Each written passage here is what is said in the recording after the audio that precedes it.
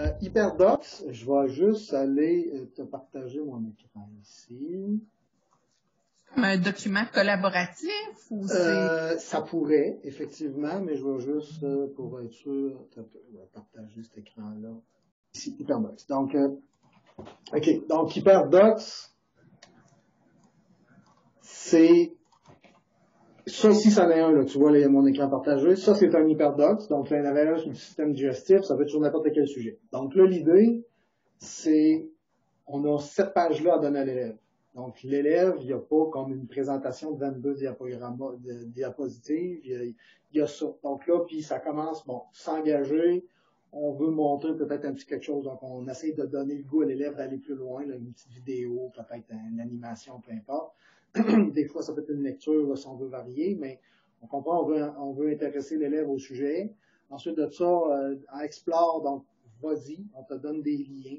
Tu peux aller les voir toutes, en voir juste quelques-uns. Laisse-toi aller euh, pour aller voir ça. Donc, c'est beaucoup des vidéos, évidemment. Les élèves, là, on, on favorise la vidéo. Ou encore, des fois, ça va être des petites euh, animations, des simulations, etc. Ensuite, on dit à l'élève, là, on lui donne une tâche d'expliquer. Donc, qu'est-ce que tu as compris? Comment tu penses que ça marche, etc. Donc, là, c'est là que peut-être que le document est collaboratif euh, pour pouvoir aller euh, plus loin. Nadia, tu veux-tu aller quelque part? Je sais pas, je regarde, là, puis je peux le faire moi-même. J'avais fait la mise à jour. OK, Je tu peux le faire toi-même. Parfait. C'est bien. Euh, donc, c'est ça, dans la partie explique, si on a un collaboratif, bon, le prof aurait peut-être pu faire, euh, c'est pas moi, 25 diapos comme tu vois là. Puis là, dire à l'élève, ben, mettre son nom à quelque part. Dire, l'élève, là, euh, Paul, toi, tu es à diapo 5, là, fait qu'il va là, puis explique-moi là cet endroit-là. Donc, les élèves auraient chacun leur diapo pour pouvoir expliquer qu'est-ce qu'ils comprennent du système digestif dans ce cas-là.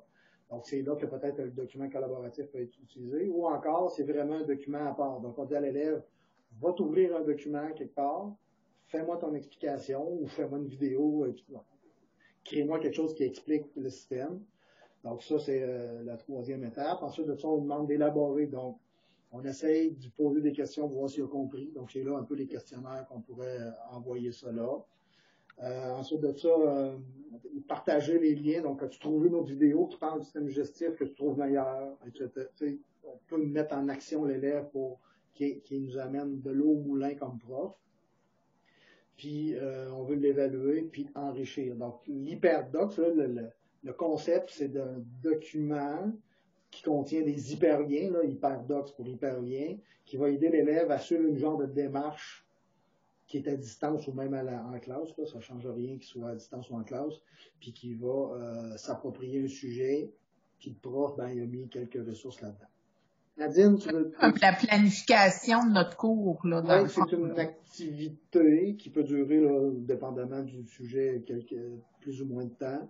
Puis c'est une façon. Puis là, ça, ben, c'est sûr que ça, si tu regardes, euh, ça, c'est la, structure hyperdox, entre guillemets, mais euh, ça ressemble beaucoup à préparation, réalisation, intégration, les phases d'apprentissage. Euh, euh, mais c'est juste une façon d'accompagner l'élève sans toujours être besoin d'arrêter tout le monde pour dire maintenant on est rendu dans la partie exploration. Tu dis aux élèves, ben ça c'est le document, va à ta vitesse, fais, tu sais, il y en a qui vont peut-être dire, ben moi je vais tout de partager le lien que j'ai vu avant d'aller faire l'explication, peu importe. Donc on respecte plus le rythme, plus les forces de, l'élève.